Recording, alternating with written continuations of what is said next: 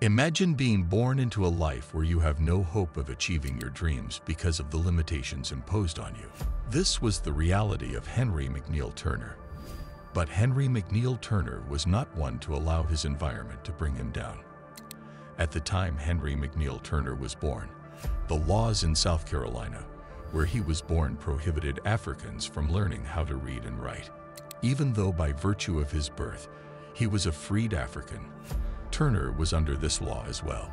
However, when he was apprenticed to work in cotton fields with captured Africans, he ran away to Abbeville, where he found a job as a custodian for a law firm. In time, Henry McNeal Turner would become a minister in the African Methodist Episcopal Church, AME, and a fierce speaker for the rights of the black men. His words and actions served to a huge degree in convincing the black people to fight for their rights during the Civil War and after, sparking the fire that would light the way to freedom. Body Henry McNeal Turner was born as a free African on February 1, 1834 in Newberry, South Carolina, to parents of mixed African-European ancestry. Turner's paternal grandparents were a white woman planter and an African man. Due to this, according to the laws of the land, the white woman's mixed-race children were born free because she was white and free. His maternal grandfather is said to have been enslaved in Africa and transported to South Carolina, where he was renamed David Greer. There, the slave traders noticed that he had Royal Mandingo tribal marks and subsequently freed him. Henry Turner grew up with his mother Sarah, Greer Turner, and his maternal grandmother. At age 14, Turner became inspired during a Methodist revival and swore to become a pastor. At age 19, he received his preacher's license from the Methodist Church South in 1853. The church had split into northern and southern units in 1844 over slavery and other issues, and for a few years, he began to travel throughout the South as an evangelist. In 1858, Turner moved his family to St. Louis, Missouri, out of fear that members of his family would be kidnapped and sold into slavery, an act that had happened to hundreds of other free blacks. The fugitive slave law enacted in 1850 had increased the incentives for capturing refugee slaves and offered little protection for the free slaves who had been illegally captured, leading to hundreds of such wrongful arrests. In St. Louis, Turner studied the classics, Hebrew and divinity at Trinity College. He became ordained as a minister in the African Methodist Episcopal Church, AME, which was founded in Philadelphia, Pennsylvania, as the first independent black denomination in the United Nations. From there, he served in various pastorates in Baltimore, Maryland, and Washington, D.C., where he met influential Republicans in the early 1860s. At the time the Civil War began, Turner was training in Baltimore. In April 1862, he was assigned to the Israel Bethel Church on Capitol Hill, the largest church in Washington, D.C., near the heart of the government and the war in Virginia. At the church, congressmen and army officers visited to hear Turner preach. It was during the Civil War that Turner began what would become a lifetime of advocacy. He organized one of the first black troops regiments and was appointed as its chaplain. He urged the blacks to enlist, preaching to them while they trained that the destiny of their race depended on their loyalty and courage. The regiment often went to his church to hear his patriotic speeches.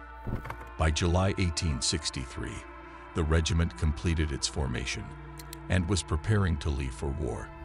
In November of the same year, Henry McNeal Turner was commissioned as chaplain, becoming the only black officer in the 1st United States Colored Troops. Turner would be a chaplain here for two years.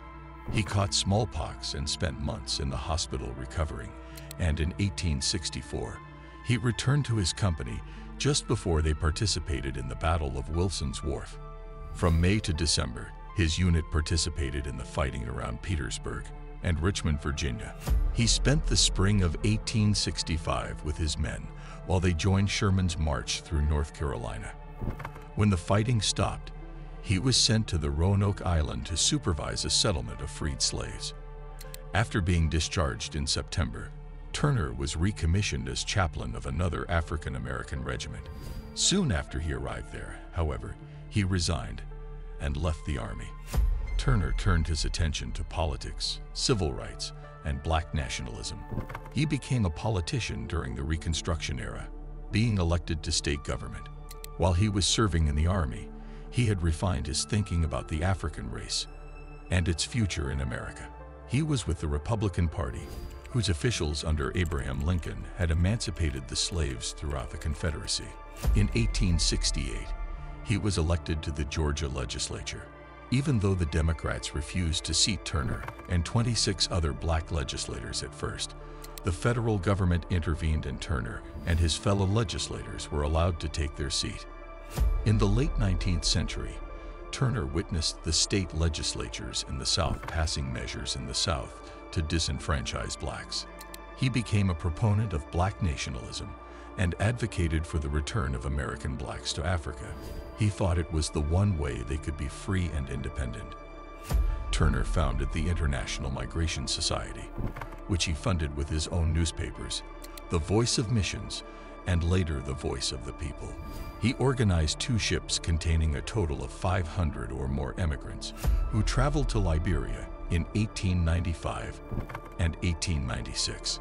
But the American blacks assumed air of superiority to the native Africans in the area and established their own society, with some of them eventually returning to the United States.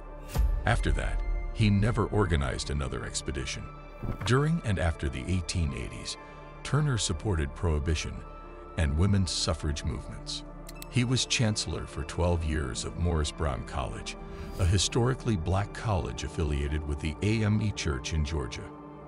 In the 1890s, Turner sailed four times to Liberia and Sierra Leone, organizing four annual AME conferences in Africa to introduce more American blacks to the continent.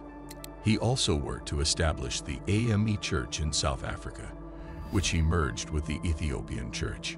With his efforts, Turner paved a way for black African students from South Africa to go to the United States and attend Wilberforce University in Ohio, a historically black college, owned and operated by the AME Church since 1863.